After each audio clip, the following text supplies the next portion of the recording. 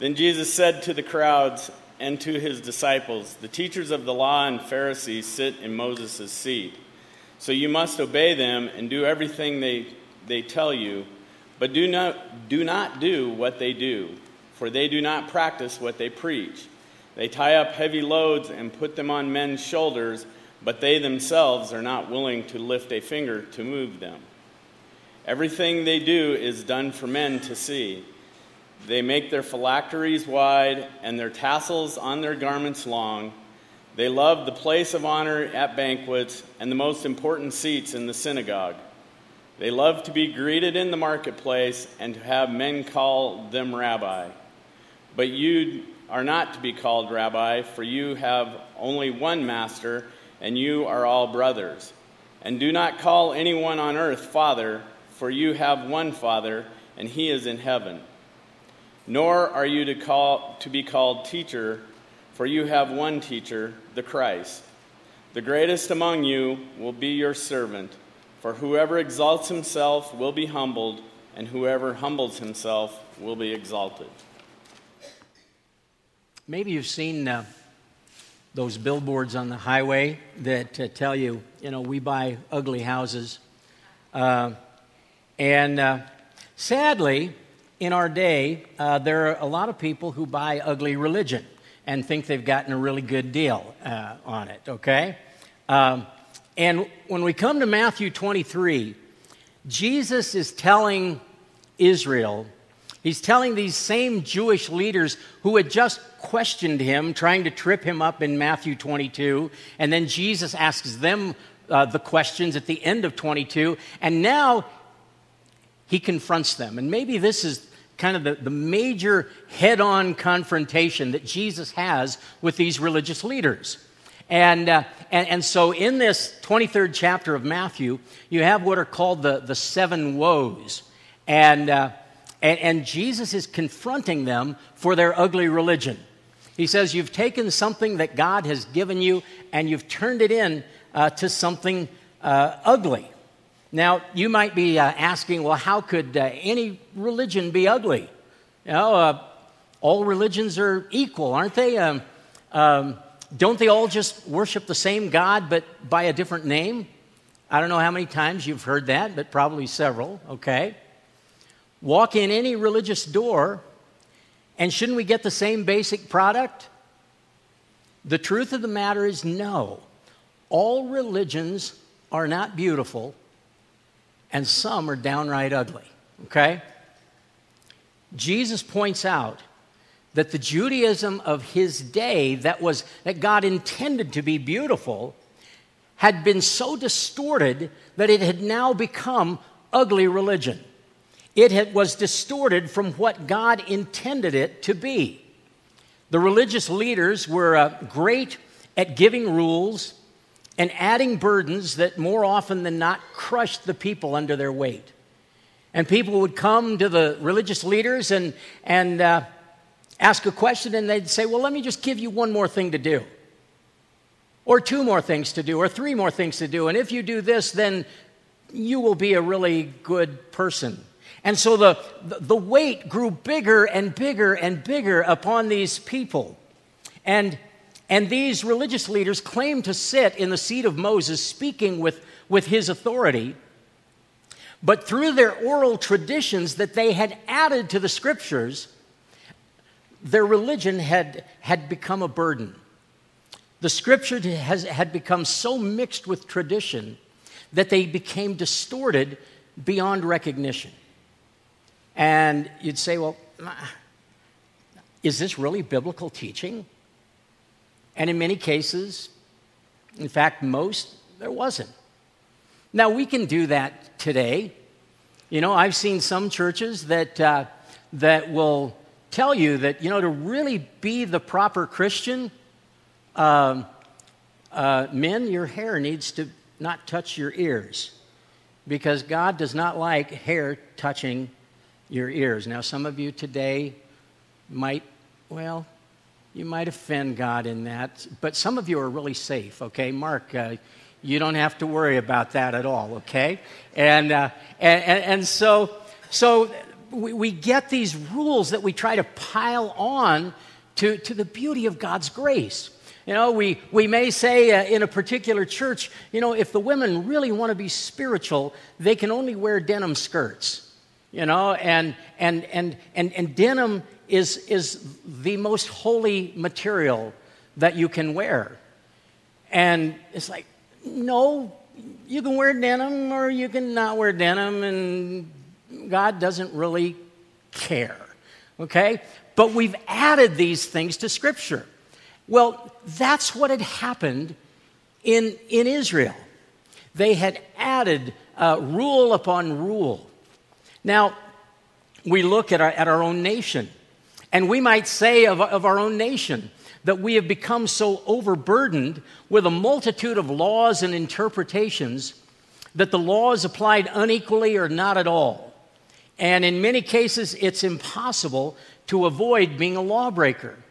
You know, uh, last year soon I went out to, uh, to D.C. and we sat in on one session of the Senate, you know, where it's kind of empty and the guys just get up to kind of hear their voice echo around the chambers. And, uh, uh and, and, and the senator from Utah, uh, Orrin Hatch got up and, and he was talking about um, to, to a chamber filled with no one. Um, but um, he was saying, We got too many laws. He says, We got laws on the books from who knows when. And he says, They'll never be recognized. Uh, they conflict with each other. And, and his point in his little speech was, We got too many laws. Well, Israel had too many laws. And, uh, and, and in our day, it's been said that, that due to the complexity of our laws, any person on the street could probably be convicted for something. So, any of you here today, you know, we could probably find something to, you know, uh, charge you with. And Jewish religion had become so complex that no one could even know the law. You had to have experts in the law. Uh, and, and, and therefore it was impossible to live up to its requirements. So Jesus tells the crowds to listen to what is scriptural and toss out the rest. Now, uh, in, in verses 3 and 4, uh, he says, uh, So you must obey them, those who sit in the seat of Moses. And I think he's saying, Obey them as far as it is scriptural. And do everything they tell you, but do not do what they do for they do not practice what they preach. They tie up heavy loads and put them on men's shoulders, but they themselves are not willing to lift a finger to move them. And interestingly, he says this in the presence of the religious leaders who had just attempted to trap him with their questions in, in chapter 22. And, and actually, 22 goes right into chapter 23. So just after Jesus begins to to ask his questions of them. Then he moves in to this denunciation of, of, of the way Judaism was practiced in that particular culture. Jesus then is denouncing ugly religion. Um, and he reveals their inward pomp and their pride that was designed only to draw attention to their own importance. And uh, and, and he says, Your pomp and your pride and your pageantry, um, he says, are, are just ugly to God.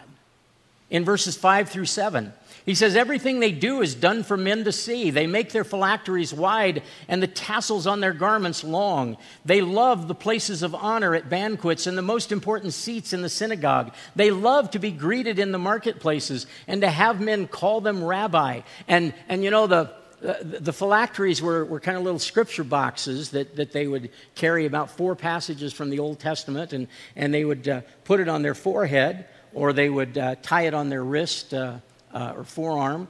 And, and, and in order to prove that you were more spiritual than any of those other rabbis or Pharisees, it says, You made your scripture box bigger than anybody else's. You know? And if you had a big scripture box. Man, that guy is really spiritual. I mean, look at him. And, and Jesus is saying, This is all show, people. And it's ugly what you're doing. Jesus was confronting them head on. And in the meantime, the cross was looming. And he was fearless in his denunciation of this ugly religion. He calls attention to their love for impressive titles, and he draws a distinction between such arrogance and the humility that was to be evident among the people of the kingdom. In verse 8, he says, But you, and here he's talking to believers, but you, in contrast to all of this, are not to be called rabbi, for you have only one master, and you are all brothers. And do not call anyone on earth father, for you have one father, and he is in heaven. Nor are you to be called teacher, for you have one teacher, the Christ. The greatest among you will be your servant. For whoever exalts himself will be humbled, and whoever humbles himself will be exalted. And Jesus says one of the defining characteristics of the citizens of the kingdom will be their humility. Now, that means in the church there's not a lot of room for us to, to, to get too arrogant, okay? That's one of those sins that God doesn't smile on. And, and, and oftentimes we excuse it. We say, well, that, that's not that bad a sin. Yeah, it's horrible because it's what is supposed to, uh, to, to define us as, as believers. So, if your religion is wrapped up in a multitude of, of rules that you demand of yourself and everyone around you, uh, your religion is just as ugly as the religion that Jesus was confronting here. You know, if you are more concerned about looking good in the eyes of other people and being important, your religion is just as ugly as what was going on here in Matthew 23. If your traditions have replaced clear biblical teaching, then you have only created confusion and undermined the authority of God's word, placing the authority of your traditions above that of Scripture. And that's ugly religion. If your religion has produced a spiritual arrogance that you believe sets you above other Christians or people in general, then you probably have a bad case of ugly religion. But here is the truth we see in this passage ugly religion always produces ugly results. And at this point in Matthew's gospel, we see Jesus passing judgment upon the ugly religion of his own people. Throughout this book, we have seen uh, Jesus repeatedly warning Israel, inviting her to come to repentance. But Israel has resisted over and over again. In Hebrews, the writer of Hebrews says, you know, hey, what's going to happen if we ignore so great a salvation? Well, that's exactly what they were doing. They were ignoring so great a salvation that had, had come to them. Jesus uh, has even told the leaders of Israel that the offer of the, of the kingdom that they had rejected, he said earlier in Matthew 21 that uh, that, that kingdom would be offered to another people. Um, there it is up there. We don't have it up here. But uh, it says, Therefore, I tell you that the kingdom of God will be taken away from you, the religious leaders in Israel, and given to a people who will produce its fruit. And, uh, and, and, and so Jesus said, You're not going to be in power forever, so don't get too comfortable, okay? Uh, Jesus had also presented the evidence that he was the Messiah and the Son of God, finally confronting them with, with a basic question. And, and at the end of chapter 22, he says, What do you think about the Christ? And that's what would appear up there, okay? Uh, but uh, but as is so often the case, the evidence makes little difference when you have already decided not to believe. And these religious leaders knew that they had no intention of, of believing. Now, because of their rejection, Jesus is saying, I'm now your judge. You see a shift here in Matthew 23. He has offered salvation. He has offered salvation. He has offered salvation. He's called them to repentance. He's given evidence of who He is. He's, he's reasoned with them in chapter 22. He's answered their questions.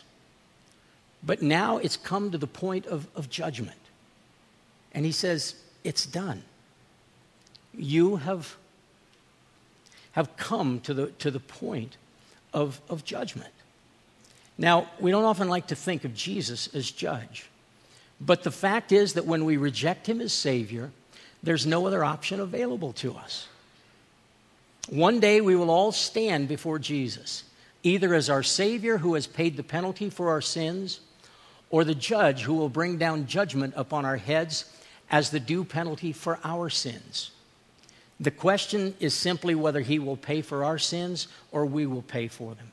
The love and justice of God will have it no other way. In his love, he said, I'll, I'll pay for their sins.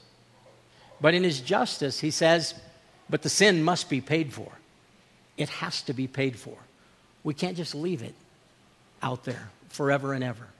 You see, there would not be a perfect and holy justice in the, in the world if God simply ignored that. So he says, Jesus has to be one or the other. He has to be Savior or judge. Even as Jesus declares judgment upon Israel, he uses a word that uh, is mentioned here woe unto you. And uh, it's a word that, that indicates judgment but it's also a word that indicates judgment mixed with sorrow. And so when we, when we look at, at, at this passage, you know, we think Jesus is just hammering them, and he is. But there's also a sense of, of sorrow in this word that, that he uses. Um, they, uh, he says to them, they are hypocrites who speak of the kingdom of God but oppose the king who has come to them. They even oppose those who would accept Jesus as their king. They pretend at righteousness without the reality. In verse 13, Jesus says, Woe to you, in, in, in the first woe, woe to you, teachers of the law and Pharisees, you hypocrites! You shut the kingdom of heaven in men's faces. You yourselves do not enter, nor will you let those enter who are trying to. And these religious leaders at every turn were opposing Jesus. And they were opposing the disciples. And, and, and, and so they were trying to keep people out of the kingdom that God wanted to bring about. So, uh, even today, you know, uh, pretenders and hypocrites can be trapped in legalism that isn't real righteousness. And legalism is powerless to produce real righteousness. It's common for men to think that the gospel consists of a list of rules to follow in our own strength rather than a Savior who empowers us to live in His strength. The gospel is not rules, but a relationship. And the Apostle Paul says any other gospel is false. In Galatians 1 9, he, he, he says, If anyone preaches to you any other gospel than the one I have proclaimed, let them be accursed. And you say, But there are many gospels. No, there can't be. If there's one God and there's one Savior, then there is one gospel. There cannot be many gospels. It is impossible. And so, if we begin to distort this gospel, we are sending people to, to judgment because we have distorted the truth of, of the beauty of the gospel of Jesus Christ. Now, Jesus recognized that the Pharisees were not proclaiming God's truth, but they were proclaiming their own. He says, For I can testify about them that they are zealous for God. But their zeal, speaking of Israel, is not based on knowledge. Since they did not know the righteousness of God and sought to establish their own, in their own power, they did not submit to God's righteousness that was offered to them in Christ. In their zeal, then, they were only creating more self righteous legalists who merely reflected more of their own ugly religion. Now, uh, uh, in verse 15, Paul says, Woe to you, teachers of the law and Pharisees, you hypocrites. He says that repeatedly. You know, you're play actors, you're pretending. You travel over land and sea to win a single convert, and when he becomes one, you make him twice as much a son of hell as you are. And all they were doing was recreating more legalists because they didn't understand the beauty of the gospel and the sweetness of the grace of God and tried to take the gospel and turn it into a stack of, of rules. They had devised a religion, in addition, that allowed them to continue in their sin while rationalizing their disobedience. Because if you've got all these rules, well, then you've got to have an escape clause. And they had lots of escape clauses, you know. It's like a lawyer today will say, well, you know, you, got, you better make this tight because, because, you know, you don't want too many loopholes. Well, they had all kinds of loopholes that would excuse them uh, to, to go ahead and, and, and be disobedient. You know, in, in verses 16 through 22, he says, Woe to you, blind guides. So he says, You're guides, but you're blind. Okay? Not a very good guide. You say, If anyone swears by the temple, it means nothing. But if anyone swears by the gold of the temple, he is bound by his oath. So, unless you, you know, make your oath in the right way, you can break it and you can lie. Um, and Jesus says, You're blind guides. You know, you've got this complex method of ignoring simple obedience. You blind fools, he says in verse 17, which is greater, the gold or the temple that makes the gold sacred? You also say, if anyone swears by the altar, it means nothing. But if anyone swears by the gift on the altar, he is bound by his oath. You blind men, there's the third time. Blind guides, uh, blind fools, blind men. And he says, which is greater, the gift uh, or the altar that makes the gift sacred? Therefore, he who swears by the altar swears by it and by everything on it. And he who swears by the temple swears by it and by the one who dwells in it. And he who swears by heaven swears by God's throne and by the one who sits on it. And Jesus says elsewhere, let your yes be yes and your no be no. And that, he says, is to reflect the people of God. We're not to look for loopholes. It says, just be honest, just speak the truth. And, and, and God can create a community of beauty if, if we put that into practice. And it's kind of a simple thing, isn't it? Just tell the truth. These religious leaders had developed a complex system of excuses that relieved them of any responsibility to obey what God had commanded. They set up a long list of rules and then found uh, loopholes and exceptions so that they could avoid following those rules. Their system allowed them to lie without calling it a lie. Well, it's just a, it's, it's just a minor deception. Uh, it's, uh, it's a creative uh, view of things. It's just an exaggeration. But you see, we are guilty of that. And we try to excuse ourselves in those ways instead of letting our yes be yes and our no be no. You know? So their system allowed them to lie without calling it a lie, to cheat without calling it cheating, to steal without calling it stealing, and to be greedy without calling it greed. In Mark 12 40, Jesus says of these leaders, they devour widows, widows' houses and for a show make lengthy prayers. Such men will be punished most severely. So they weren't ethical. They said, you know, we will steal a widow's house in order for us to make a, a buck. But we'll do it all with a nice religious show about it. You know?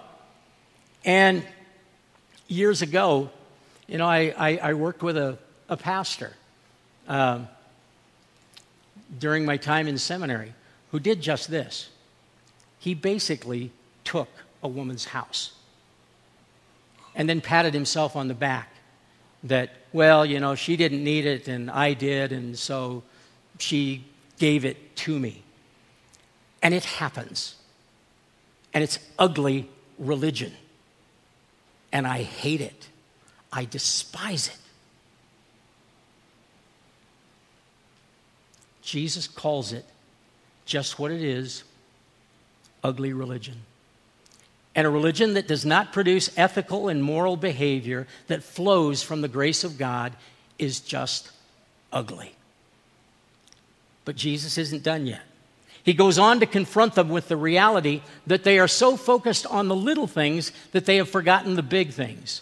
They have maximized the minimum while minimizing the maximum.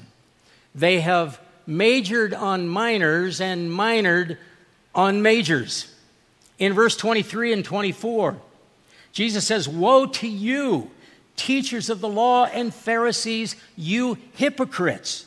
There's the word again. He says, it's pretend religion. You give a tenth of your spices, mint, dill, and cumin, but you have neglected the more important matters of the law justice, mercy, and faithfulness.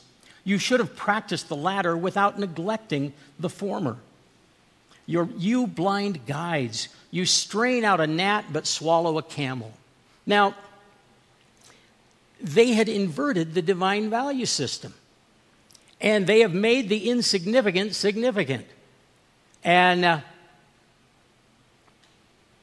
God had already told them 700 years earlier what was most important to him. God spoke through the prophet Micah, and in Micah 6 8, God said, He has showed you, O man, what is good, what is most important. And what does the Lord require of you to act justly? That means have integrity in your business dealings, in your dealings with people. You know, speak honestly. Let your yes be yes and your no be no. Be faithful. So he says, act justly, love mercy, be ready to forgive. You know, sometimes we are so ready to judge. And he says, fall in love with mercy. Because judgment doesn't accomplish much. And you know what? I've been guilty of that myself where I've been hesitant to quickly forgive. But it's something that we need to develop in our faith. We learn to walk humbly with our God. That means simple obedience to Him, not trying to find loopholes or ways out or, or, or, or rationalizations. Walk humbly with God. And when He says, This is what is best for you, then live that out day by day.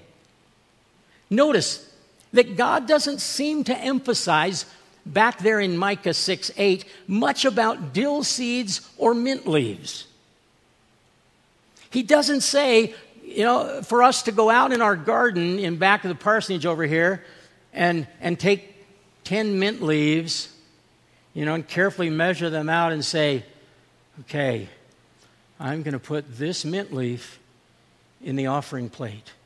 And then I take my cinnamon, you know, and I, and I, I take a tenth of it and I scoot it over and I pour it off into a little cup and I'm going to give that to God. You know, it, he says, what is important then are, are, are these issues justice, mercy, and humility before God. He, in fact, he tells them that they strain out a gnat that was considered a, an unclean animal or an insect.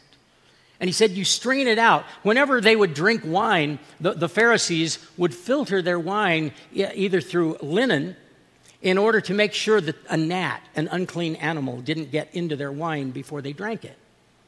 The other thing that they would do is, in order to protect themselves from this unclean gnat, oftentimes when the Pharisees would drink their wine, they would drink it through their clenched teeth so that no gnat would get in their mouth, okay?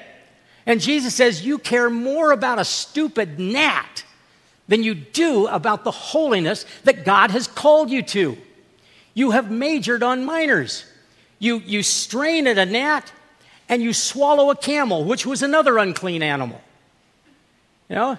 And he says, he says, You have swallowed the ugly, big issues of faith, the important stuff. Now, They have lost a sense of proportion as to what is most important in our faith. An ugly religion loses a sense of proportion. And in our own lives, a faith that does not prioritize that which is really important becomes an ugly faith.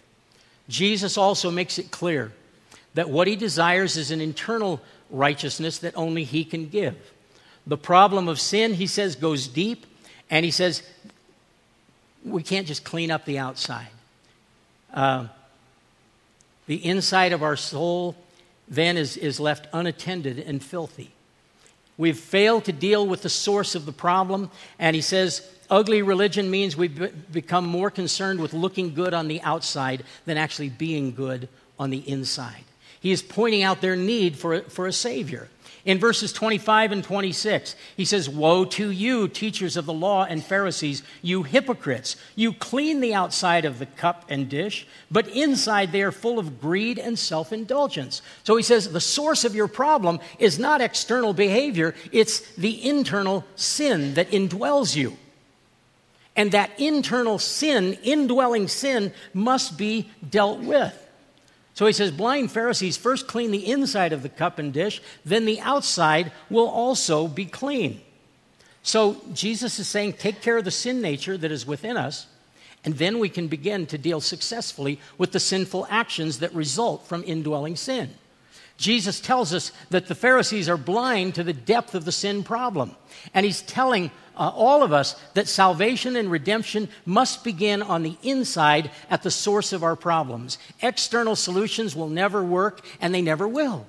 And so, so if we say, well, I, I'm going to just, I'm going to reform my life, and I'm going to work on this habit, and I'm going to work on that habit, and I'm going to be a better person, and I am not going to be as grumpy this week as I was last week, okay? Uh, and and that might be a good one for me to think about, okay? But but but in all of that, we we look at the ex- external behavior,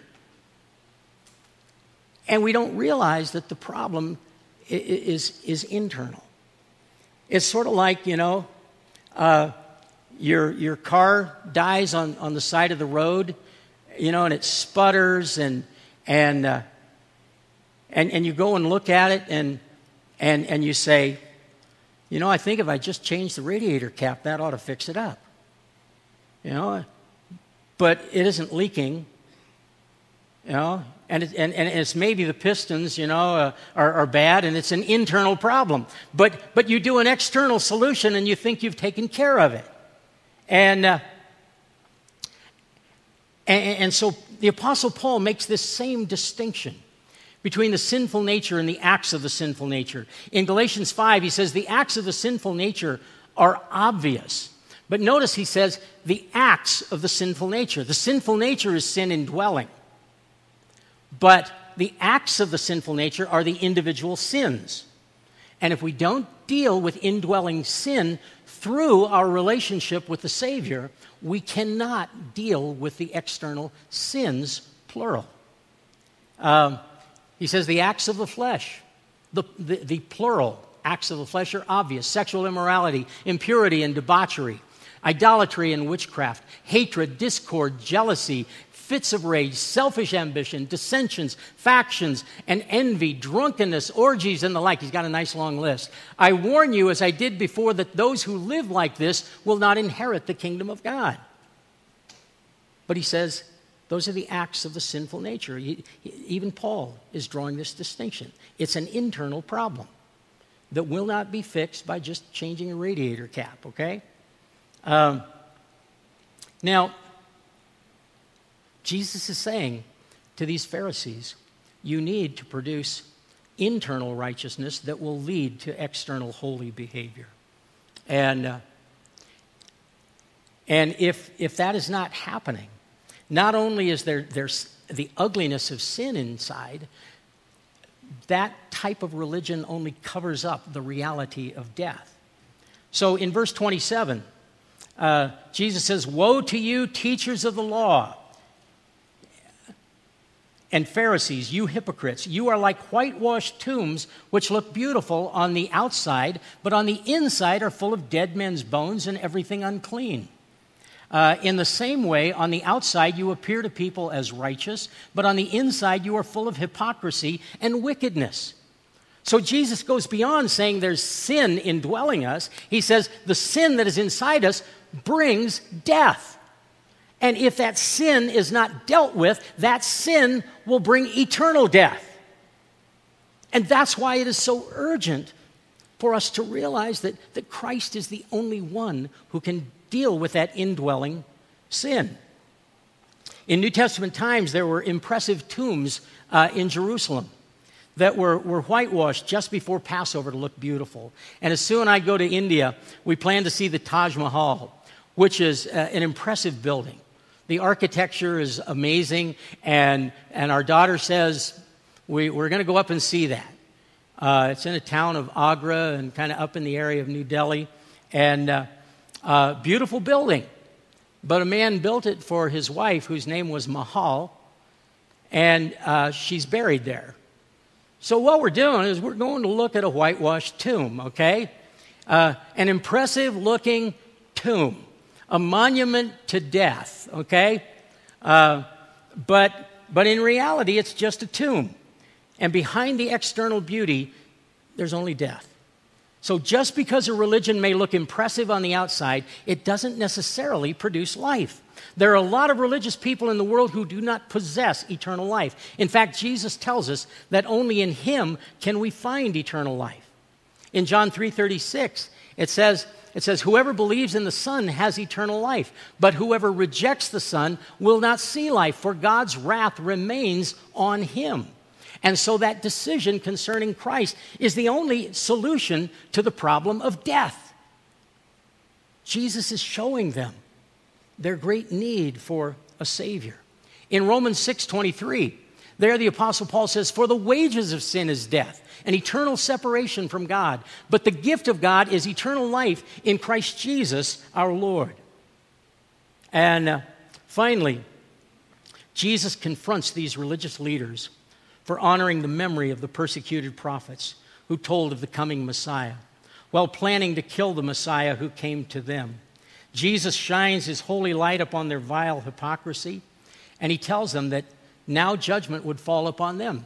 They had killed all the prophets that had come to them before, and he lists them in, in verses 29 through 32. He says, Woe to you! Uh, this is the seventh woe. Woe to you, teachers of the law and Pharisees, you hypocrites! You build tombs for the prophets and decorate the graves of the righteous, and you say, If we had lived in the days of our forefathers, we would not have taken part with them in the shedding of the blood of the prophets. Well, wait a minute. What were they planning right then? They were planning the death of their Messiah. He says, So you testify against yourselves that you are descendants of those who murdered the prophets. Fill up then the measure of the sin of your forefathers. So he reveals to them that, uh, that they would persecute the also persecute the messengers that Jesus would send to them. And Jesus says, I'm going to send messengers, and you'll persecute them too. And Jesus is speaking of, of, of the apostles. And he says, You're going to persecute them just like you persecuted me, just like you persecuted the prophets in the past throughout the Old Testament. And he says, uh, Up till now, God has withheld his ultimate hand of judgment. But he says, Now it's too late. He says, The cup of God's wrath is full. And now the cup of wrath will be poured out upon this nation and its peoples. And he says it will happen within that generation. In verses 33 to 36, he says, You snakes, you brood of vipers, how will you escape being condemned to hell? Therefore, I am sending you prophets and wise men and teachers. Some of them you will kill and crucify, others you will flog in your synagogues and pursue from town to town. And it's exactly what they did. And so upon you will come all the righteous blood that has been shed on earth, from the blood of righteous Abel to the blood of Zechariah, son of Berechiah, whom you murdered between the temple and the altar. I tell you the truth, all this will come uh, upon this generation. So he says the wrath of God is full. And throughout the Old Testament, there's often this picture of the cup of wrath. And the idea is that when the cup of wrath is full, God pours it out and judgment falls. And that's the idea that Jesus is saying here. He said, You know, God overlooked a lot of the things you've done in the past. And, but all of those things, you know, the, the persecution of the Old Testament prophets, you kind of kept adding a little more into that bucket, okay? And, uh, and, and then you, you persecuted John the Baptist, and there was a little more put in the bucket, you know? And now you're persecuting the Messiah, and the cup is just about full. And when you persecute the apostles that I'm going to send out, the cup is going to be totally full. And it's sort of like when you go to Waterworld, you know, they have the big giant bucket that keeps filling and filling and filling, and you stand under it, you know, and you wait until it finally tips and it just throws this flood of water on you. Well, that's kind of the picture that Jesus is making here. He says, the, the, cup will get so full that finally judgment must fall.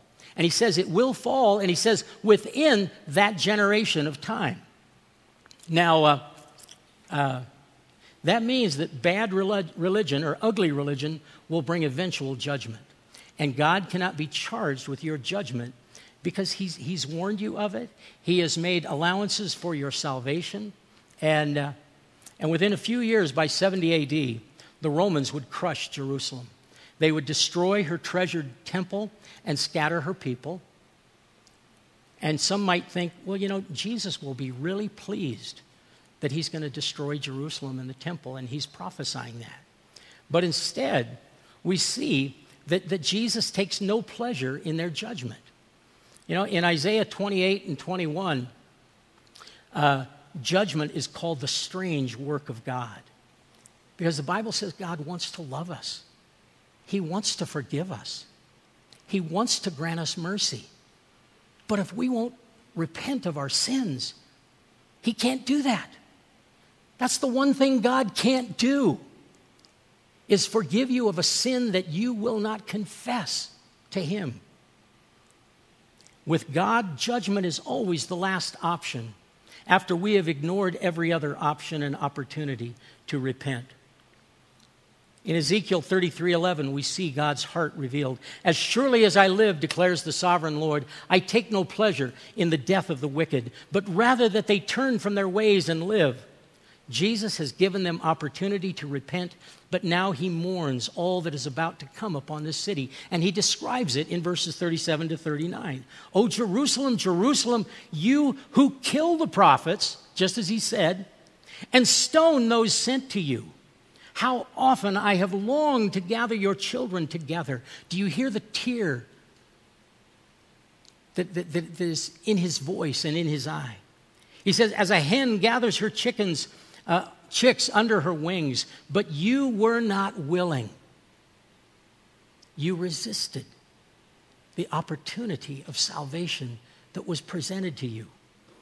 Look, he says, your house is left to you desolate.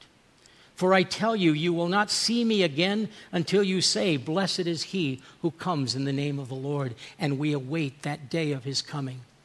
And Israel will repent. So look at your own faith. Does your religion turn you into an angry, self righteous legalist? Does it turn you into an arrogant, super spiritual mysticist?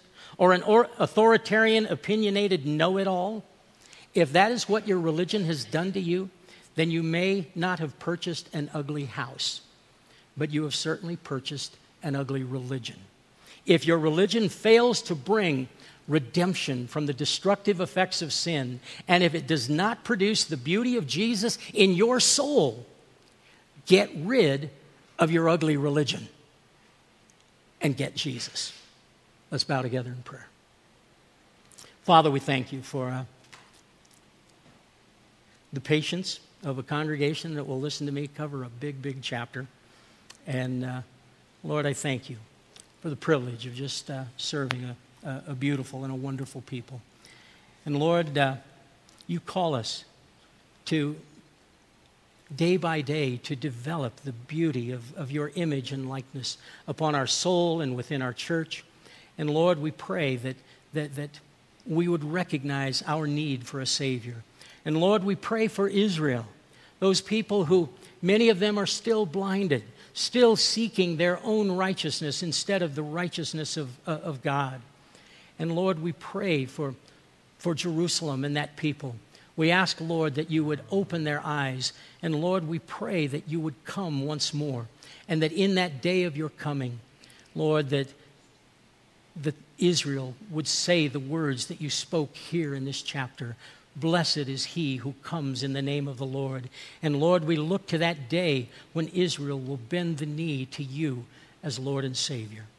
Lord, bless these truths to our hearts and let us not fall in to the trap of ugly religion. But let the beauty of Jesus be evident in all we say and all we do. And we give you the praise in Jesus' holy name. Amen.